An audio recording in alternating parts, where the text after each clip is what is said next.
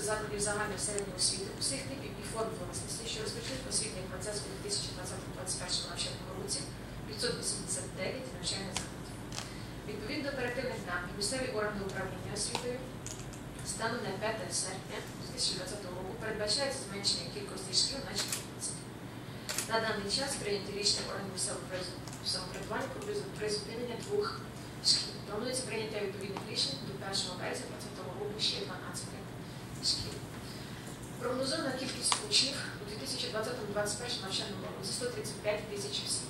На даний час зараховано до перших класів 13 тисяч 800 осіб. Забезпечить освітній процес близько 12 тисяч 300 педагогічних працівників. Проведено навчання вчителів перших класів нової української школи 3724 педагоги початкової школи є сертифікованими вчителями.